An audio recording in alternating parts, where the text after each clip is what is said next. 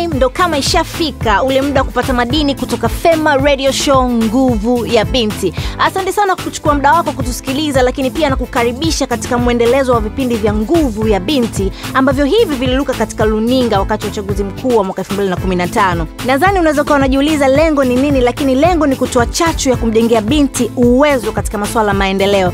Kama kawaida, mi naitwa Lin na niko na msichana wa nguvu wa nguvu haswa. E bwana, mi naitwa Sara, tutakuwa pamoja tukisababisha hapa hapa ndani ya Fema Radio Show nguvu ya binti, na mada yetu ya leo inasema ushiriki wa wasichana katika jamii. Mimi nilikuwa ni mmoja wa mabinti wa nguvu ambao katika kipindi cha Fema TV show kilichopita mwaka wa uchaguzi, na tulifunga safari kuelekea mkoa wa Njombe kujua wakazi wa Njombe wanafikiria nini kuhusu ushiriki wa wasichana katika jamii. Naomba nisiwe mzungumzaji sana, hebu tuwasikilize wakazi wa huko wanatuambia nini juu ya swala la ushiriki wa wasichana. Sauti yako. Mambo Tanzania, niko katika mkoa wa Njombe. Hapa kuna mavazi ya baridi, kuna baridi ile mbaya, na leo utakuwa nami ripota wako nguvu ya binti. Jina langu unaitwa Umi Omali. Leo nimeleta swali moja tu katika mkoa wa Njombe, ambalo swali langu linasema, wewe kama kijana unafikiri sauti yako ina umuhimu katika jamii? Tena tukajumuike na wenzetu ili tupate jibu la swali letu la leo. Sikiliza Fema Radio Show. Mi nilikuwa nafikiria labda serikali yetu ingekuwa kwanza jirani na si wananchi, ijue tunahitaji nini, tunataka nini. Ni hicho tu mimi ninachofikiri, kwa sababu mawazo mengi wangepata kwetu sisi wananchi tunahitaji nini. Nafikiri sauti yangu haisikiki katika jamii kwa sababu serikali haijapata kusikiliza matakwa ya mimi mwananchi. Vijana ni sunaona lenye jinsi hivi tunataabika nini? Eh, eh, haisikii kwa sababu mbunge aliyoko kule madarakani haji kututembelea sisi watu wa Njombe tuliomchagua. Ukiangalia hata kama viongozi wetu kwa sisi kama Njombe mjini hapa tuna mbunge wetu. Mimi tangu aingie madarakani sijawahi kukutana naye face to face hivi. Mpaka hivi saizi ndo tunaingia muda wa uchaguzi. Sasa nitatolea labda malalamiko wapi? Hapo swali linashindwa kulijibu. Fema Radio Show. Ndiyo show ya kikiganja. Hayo ni majibu ya wananchi wa Njombe waliokuwa wanashiriki kulijibu swali letu la leo lililokuwa linauliza, wewe kama kijana unafikiri sauti yako ina umuhimu katika jamii? Ni mimi ripota wako wa nguvu ya binti Umio Mali, usiondoke. Yes, basi hizo ndio sauti kutoka Njombe. Uh, na huyo ndo Umi alikuwa akiongea na vijana kutoka Njombe ambao wengi wao wamesema kwamba sauti yao haisikiki kwenye jamii. Ha, ni jambo la kusikitisha sana Sara.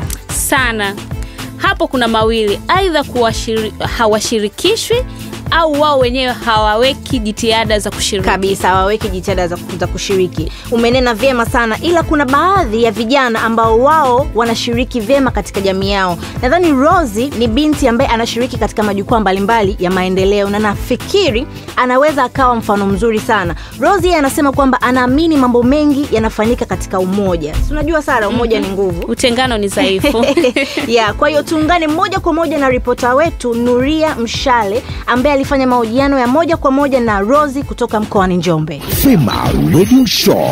Ndiyo show ya kikiganja. Show ya kiganja. Leo nimekuja Njombe kukutana na dada Rose Mayemba. Dada Rose anajishughulisha na masuala mbalimbali ya kuhusu uraia.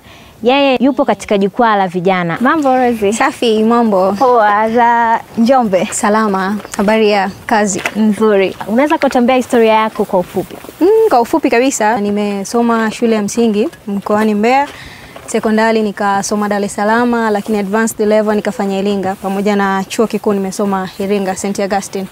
Hongera sana dada Rose. Asante. Tunafahamu kwamba wewe unajihusisha na shughuli mbalimbali za kiraia. Je, ni tofauti gani ambayo umeiona kabla hujakuwepo kwenye jukwaa na ambavyo upo sasa hivi? Ni rahisi zaidi kuishi mkiwa wengi kuliko ukawa na peke yako, kwa maana ya kwamba uwezo wa kupambanua kila jambo peke yako ni mgumu kuliko ukiwa mnashiriki wengi. Kuna programs nyingi sana ambazo huwa zinafanyika. Kwa mfano, kuna wakati uh, tunakuwa tunaita vijana wote walioko hapa mjini Njombe mm. tunashiriki kujifunza labda masuala ya ujasiriamali kwa mtu ambaye alikuwa hajui kutengeneza sabuni anajua. Je, changamoto gani ambazo umekutana nazo? Wanawake wako wachache sana kwenye jukwaa na ni kwa sababu wanawake bado hawaja hawajaamka kwa kiasi hicho. Ule mfumo dume bado unatutesa hapa Eh. nchini kwetu. Kwa wanawake ni wachache sana. Kuna masuala mbalimbali ambayo yanakusanaga nayo vijana ama katika majukwaa mbalimbali ya vijana. Mojawapo ni ile kuwa na uhusiano na vyama vya siasa. Je, changamoto kama hiyo imeanza kukuta? Sasa tunapokuwa kwenye jukwaa, wanaotoa mawazo ni wanavyama hao hao, unajua eh? Eh, kwamba kijana labda wa chama fulani ametoa wazo fulani, kijana wa chama fulani ametoa wazo fulani.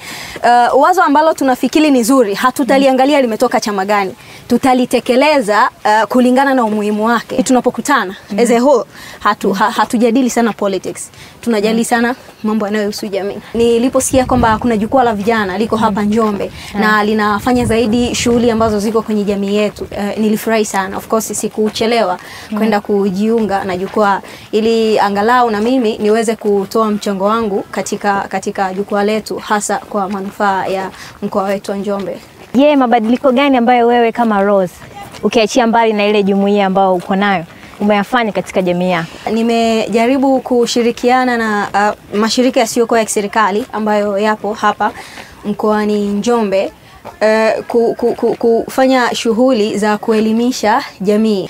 Uh, kwa mfano swala la katiba mm. uh, watu walikuwa wanaambiwa katiba, tunataka katiba, tunataka katiba, lakini hawajui yeah. kwa sababu hata iliyokuwepo hawaijui. Wana, uh, unatakaje katiba wakati uh, uh, hata ulionayo tu hauifahamu? Yeah. Kwa hiyo uh, niliona ni vema kama nitakuwa sehemu ya mabadiliko ya jamii yangu, watu wakapata ule mwamko wa kuhitaji yeah. katiba mpya baada ya kupata ufafanuzi mzuri hasa kuhusu madhaifu yaliyoko kwenye katiba iliyopita Yeah. na tu, tutaboreshaje katiba ijayo. Sasa kuna binti wa Kitanzania ambaye yeye anahisi sauti yake haina umuhimu katika jamii. Je, unamwambiaje mtu kama huyo? lazima wanawake wafahamu kwamba huu ni wakati wetu. Amke um, kwanza, ajitambue yeye ni nani, anaweza akafanya nini. Tunachokihitaji kutoka kwenye serikali ni fursa. Uh, kama wanawake wata, wata, watawekwa mbele, wataonekana wana uwezo wa kufanya maajabu kuliko hata wanayoyafanya wanaume. That's what I believe. Ah, asante sana dada Rose. Hata mimi pia umenipa moyo na kuona kama nitaweza kufanya vitu ambavyo natamani kuvifanya. Asante dada Rose. Huyu alikuwa ni dada Rose Mayemba kutoka Njombe. Hizo ni baadhi ya sauti ambazo umekuwa ukizisikia na nyingine zaidi za vijana pamoja na mabinti utaendelea kuzisikia kupitia kampeni ya Nguvu ya Binti. Ni mimi ripota wako Nuria Mshari. Fema Radio Show ndiyo show ya kikiganja. Safi kabisa. Kama ndo unafungulia redio yako, basi unasikiliza Fema Radio Show, nguvu ya binti. Huu ni mwendelezo wa vipindi vya nguvu ya binti vilivyoruka wakati wa uchaguzi mkuu wa mwaka 2015. Sara, mm-hmm. mi nafikiria Rosi ni msichana ambaye ameonyesha uthubutu wa hali ya juu Kabisa, Ehe. kabisa, kabisa. na kwa yeye ambaye unatusikiliza unaweza ukaona kwamba haijalishi mabinti mko wangapi, ushiriki wako wewe peke yako unaweza kuleta mabadiliko makubwa sana.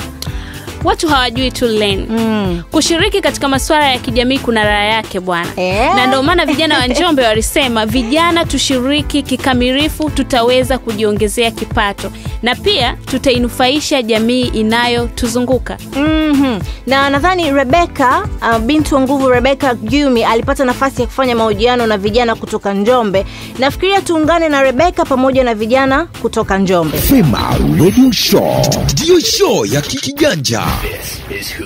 Show ya kijanja. Fema Radio Show. Sauti yako. Sauti yako. Unasikiliza Fema Radio Show. Fema Radio Show. Sauti yako. Sauti yako. Unasikiliza Fema Radio Show. Kama ulivyoona walivyotangulia watangazaji wenzangu hapo maripota, tuko Njombe na mimi basi nimebahatika hapa kukutana na vijana kutoka jukwaa la vijana Njombe, na kwa pamoja basi tutajadili mada yetu ya leo ambayo inazungumza kiujumla ushiriki wa msichana katika masuala mbalimbali yanayohusu jamii. Jamani, karibuni sana kwenye Fema TV Show. Asante, karibuni sana. Kuna umuhimu wote wa vijana kushiriki kikamilifu katika maendeleo ya jamii yetu? Ninachoamini ni kwamba ukilala ukiamka umekuwa mzee zaidi ya jana. Kwa wale wazee tayari nguvu kazi yao inazidi kufanya nini? Kupungua. vijana ndo tunashika chati. Okay. Kwa kushiriki kwa vijana ni muhimu sana. Kuna umuhimu. Robert. kutokana na kushiriki kwake katika shughuli tofauti tofauti za kijamii kunampelekea kuwa na kipato Mm -hmm. lakini pili anainufaisha jamii yake na familia yake ambayo yeye inamzunguka kwa sababu inawezekana akawa ametoa mawazo ambayo yakapelekea kuibuliwa kwa mradi fulani ili kuweza kusaidia maendeleo ya kijamii Mi nafikiri tu ni dhana ambayo ipo, yani ile kwamba msichana unajisikia kwamba ni dhaifu mwenyewe kabla hata hujafika mbele ya kundi, kwamba baba nikatoa na mimi mawazo yangu, wewe mwenyewe umeshajisikia tayari dhaifu. Hii inaku- inakunyima nguvu, huwezi kusogea na ukaongea chochote. Pili na ule mtizamo ambao unakuta labda kaka zetu wanatutizama, hata nikisogea nikiongea kitu wataona "Ah, huyu msichana tu anaongea nini? Robert, lawama zinakuja kwenu, yana ukweli hayo? sitaki kuamini kama na Eh. ukweli, lakini lazima tufikie mahali tufikiri namna gani ya kubadilisha hizo fikira ili na wao kiujumla waweze kuweza kuin- ku- ku- kuingia moja kwa moja Mm. kwa ujumla wao katika kushiriki, kwa sababu wote tuna haki sawa ya kuweza kushiriki. Sawa kabisa. Eh. yani huu uhamasishaji uanzie majumbani. Kwa mfano, unakuta nyumba ni familia hiyo, ina watoto wa kike, ina watoto wa kiume, labda kumetangazwa kwamba kuna mkutano wa kijiji. Baba atakavyotoka huko kasikia kuna mkutano wa kijiji, akifika nyumbani atamwambia kaka, lakini sio yule dada, atabaki na shughuli, atajua mimi ni mtu wa kufanya hizi shughuli za hapa nyumbani mm. na sio kwenda kule. Kevin, mimi nataka kupa swali mm. tofauti. Yeah. Umeoa hujaoa? Sijaoa. Akitokea Sara ambaye anaongea vizuri anashiriki Mm. na Eliza ambaye ni mkimya Mm. uongee sasa ukiwa unawakilisha wanaume wengi. yeah. Ni msichana gani ambaye kwenu nyie mnaona huyu huyu ndo anaweza akawa mke mzuri Ah, baadaye? ni- nikiongelea kiutamaduni huku yule mkimya ndo tunachukulia kwamba ni mke mzuri ukiacha yeye anayeongea kwa sababu unajua kabisa atakusumbua Eh, atakusumbua eh, anayeongea. Eh. atanisumbua nyumbani Ehe. nitamchukua yule mkimya Okay. Eh. Sasa kwa, kwa namna hiyo hiyo unafikiri changamoto pia kubwa ipo katika namna ambavyo tamaduni zetu zinatukuza tamaduni sio sio msaafu wala sio Biblia kwamba uweze ukaibadilisha. Tamaduni zinabadilika kutokana na nyakati zinavyoenda. Sasa hili swala linabidi inabidi lianzie kwenye ngazi ya chini. Sasa ngazi ya chini ni wapi? Moja kwa moja nakutana ni kwenye familia. Sawa kabisa. Mm. Nataka niulize kama swali la kizushi hivi. Nyie mna, mna, mnasemaje au nini maoni yako kwenye dhana nzima kwamba kila kitu tunachokifanya katika maisha yetu ni siasa? Nafikiri kwa nini imefikia hapo na vijana na wananchi kiujumla, imeonekana kama kila kitu tunachokifanya ni siasa, mm. kwa sababu ya aina ya viongozi ambao tumewa tumekuwa nao. Kuna mtu ambaye ana enforce sheria, ni yeye mfano mahakama, Mahakama. sawa. Kuna mtu ambaye anatunga sheria ambaye yeye ni bunge. Kuna mtu ambaye anasimamia utekelezaji ambao ndio serikali ambao iko kwa ajili ya kutekeleza. Unakuta si kuna watendaji, unakuta si kuna mkurugenzi, unakuta kuna nani. Wale kazi yao ni kutekeleza kile kilichoamuliwa wapi kule juu, lakini sasa tunakuta hata watendaji tunaweka wanasiasa. mm. Unategemea tutaweza kweli kuweza kumudu mabadiliko ambayo tunayategemea? Kwa inakuwa Ni ngumu. changamoto. Inakuwa ni changamoto. Changamoto. Kevin wewe unasemaje? Labda mimi niseme. Ngoja tumsikize Kevin. Ehe. Mimi naamini kwamba wabaya ni watu. Mm. Vifaa sio vibaya. Sawa. Bunduki sio mbaya. Ukiitumia vizuri. Maneno haya wewe umekaa pwani wewe. Hapana, sijakaa pwani Na- na wala mimi sio mpwana. Labda niseme tu kwamba una- una- unapozungumzia siasa, Eh. kila kitu ni siasa, huwezi kuikwepa siasa kwenye kila kitu. Lakini je, ni namna gani hii siasa inatumika? Mm. Hapo ndipo penye tatizo. Utakuta labda tuchukulie kwanza zana ya michezo. Siasa ime- im, im, im, im imetunga sera nzuri kutokana na siasa, tumepata sera nzuri za michezo, lakini wameingiza siasa, wanatumia sivyo ndivyo. Mm. Lakini sio kwamba siasa ni tatizo, hapana, jinsi tunavyoitumia siasa. Mimi naweza nikasema swala zima tatizo ni matumizi, kwa sababu hata Waswahili wanasema pesa iga kuitafuta, ila sio matumizi utafulia. Kwa maana hiyo wenzangu wote wameniunga mkono kwamba kwa maana kwa maana hii nataka nizungumze. Nataka nizungumze. unatafuta watu wa Ah. Nataka nizungumze kidogo. Eh. Wameniunga mkono kwa namna gani? Kwa namna hii moja kubwa Eh. kwamba siasa sio mbaya na sio sio kila mahali, mm. lakini ni namna gani siasa hiyo unaitumia katika mazingira. Sawa kabisa. Jamani, mimi niwashukuru sana. mm. Nafikiri tumezungumza mengi kwa mapana na natumaini tutarudi tena Njombe Asante safari nyingine. Asanteni sana.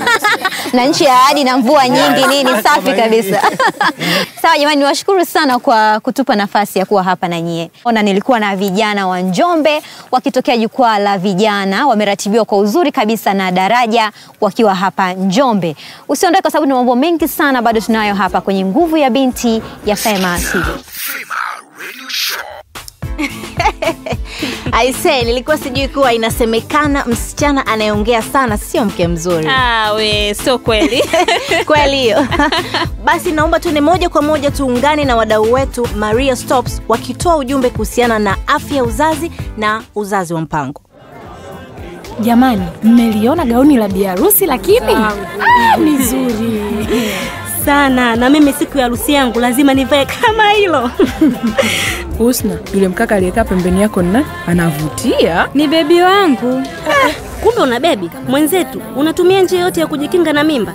Tena mmenikumbusha, ngoja ninywe kidonge changu cha uzazi wa mpango, muda wangu umefika. Husna, kumbe unatumia vidonge vya uzazi wa mpango? Eh, ndio. Mbona siku nyingi nimeanza? gusa hapa mimi nimeweka kijiti sitaki mtoto hadi nimalize chuo mimi na baba Junior tulienda kliniki. Baada ya kushauriwa kuhusu uzazi wa mpango, tuliamua tu nitumie lupu. Hatutaki mtoto mwingine hadi Junior atimize angalau miaka mitatu. Mi sijaanza kutumia uzazi wa mpango. Eti nasikia wanasema uzazi wa mpango una madhara. Watumiaji wachache huweza kupata maudhi madogo madogo, lakini maudhi haya huisha baada ya muda mfupi. Kufanya uzazi wa mpango katika maisha yako ni raha eh? Puzie Vic. Na wewe pia, hebu anza kufikiria kufanya uzazi wa mpango. Da, shoga zangu, umenifungua macho.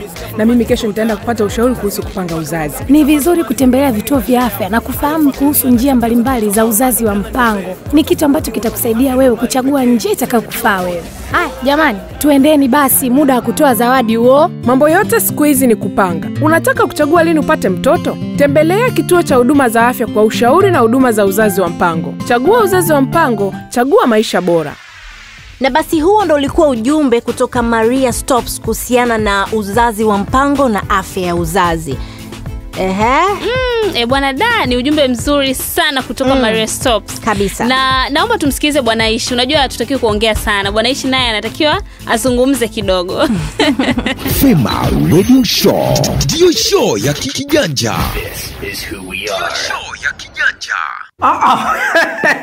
Tuni mwanangu, ili chai iwe tamu inatakiwa iweke kitu gani? Sukari. Ehe, kumbe unaelewa. Sasa Tunu, kwa mfano huo huo, ili nchi yetu iwe na amani, inatakiwa sisi raia, yani mimi, wewe, tuwe raia wema.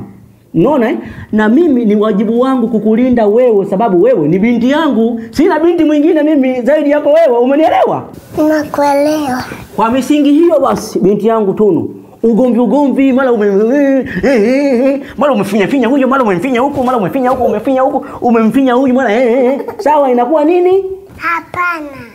Hata ukiwa darasani unasoma, kama kuna mwanafunzi mwenzako amesimama na anapiga makelele makelele, mwambie hapana, kaa chini tusome, huu ni muda wa kusoma, umenielewa?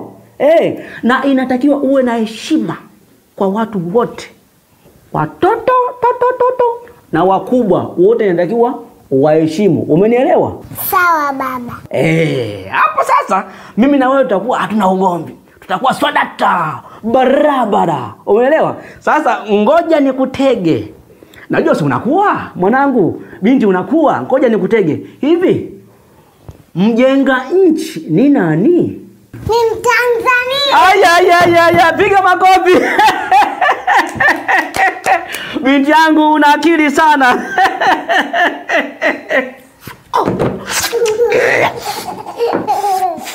we, we, we, we, wewe una, unamcheka baba mwana yake ni eh? Hebu hebu lete ni- nipatie hicho hicho kikombe nipoze kidogo. We mimi naungua na moto alafu unamcheka baba. alafu wewe oh.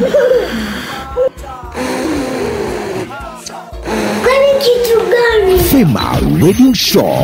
Ndiyo show ya kijanja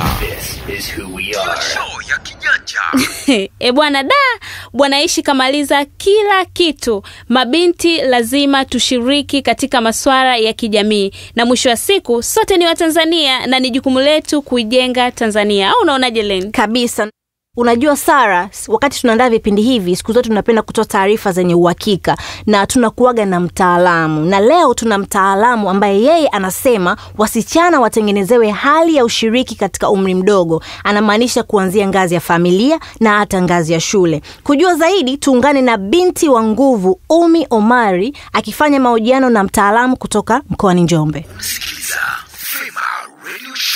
leo hapa tutakuwa tunazungumzia mada yetu kubwa ambayo inasema ushiriki wa wasichana katika jamii. Labda mtaalamu, ningependa kufahamu tukizungumzia ushiriki wa wasichana katika jamii ni, ni kitu gani ambacho tunamaanisha? ni namna unavyoangalia e, nafasi ya mwanamke kwa ujumla wake e, katika jamii hiyo ana nafasi gani, kwa sababu wanawake sio licha tu ya wingi wa asilimia katika jamii kama ya kwetu, lakini pia ni mhimili wa, wa, wa familia nyingi katika dunia hii. Bila shaka yote e, ushiriki wa wanawake wasichana, hasa kwa kuanzia wasichana kwenye masuala ya kijamii ni, ni, ni, ni jambo la muhimu sana, lakini kuna kuna mtoto wa kike pia ana- anasumbuka na, na kutokuwa na vitu vitatu ambavyo ni muhimu katika maisha umi cha kwanza ni, ni, ni, ni kuna K tatu. Kwanza anashindwa kujitambua yeye mwenyewe, anashindwa kujiamini. La tatu kabisa anashindwa kuthubutu kufanya yale maamuzi. Na labda unafikiria ni mazingira yapi yani yajengwe ili kumweka msichana yani hawe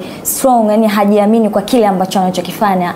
Mimi nafikiri natakiwa lianzie e, nyumbani. Pale ndo natakiwa jambo hilo lianzie pale. Sasa kama usipojenga msingi wa kumwandaa msichana kutokea nyumbani, inakuwa ngumu sana. Sasa tuje pia shuleni, kwa maana ya kwamba e, shule iwezeshwe wale kwenye walimu wale wa- wasaidiwe mafunzo ya kuwasaidia watoto wa kike waweze kupata nafasi zaidi, lakini pia kuwa na ujasiri wa kufanya yale ambayo watu wanafikiri hayawezekani. Yale yote ambayo wanaume wanashiriki, kimsingi wanawake wanaweza wakashiriki pia na wanaweza wakafanya vizuri zaidi pengine kuliko hata wanaume. Moja ya changamoto kubwa umi e, ni ile hali ya watu kuogopa kushindwa. Kianguka unasimama. Nafikiri mtoto anapojifunza kutembea Mm. si anaanguka wewe umeanguka kila mara. kila mara kwa sababu anaangalia nyayo zake miguu chini. Sasa ile anapoanza kuangalia anakosa focus au ni aangalie mbele, anakosa balance. Akiangalia chini atayumba tu, ataanguka. Mtoto akianza kuangalia mbele akasahau ile miguu anayonyanyua, ndipo pale mtoto anaanza kutembea. Sasa tunajifunza hata kwenye falsafa ya maisha, unapoanguka ukiacha kuangalia ulipoanguka, ukaanza kuangalia mbele, unaweza ukaanza kutembea. Labda unafikiri wasichana wana- wanahusika vipi au wanashughulishwa vipi ili kupinga rushwa katika jamii yetu ya Tanzania? Kwanza wasichana, wanawake kwa ujumla wanajua madhara ya rushwa pengine kuliko wanaume. Wanajua rushwa inavyowafanya watoto wao wafe hospitalini, wasipate huduma muhimu, eh, kwa sababu wao ndio mara nyingi wako na familia. Ni wazi unachokisema. E, tukiwapa nafasi wanawake washiriki mapambano dhidi ya rushwa, watakuwa ni wapiganaji wazuri sana katika hilo, na hakika wanaweza kutuletea ushindi mkubwa, kwa sababu wanayajua madhara ya rushwa pengine kuliko wanaume. Nasema hili kwa ukweli kabisa. Asante sana mtaalamu wetu. Fema Radio Show ndiyo show ya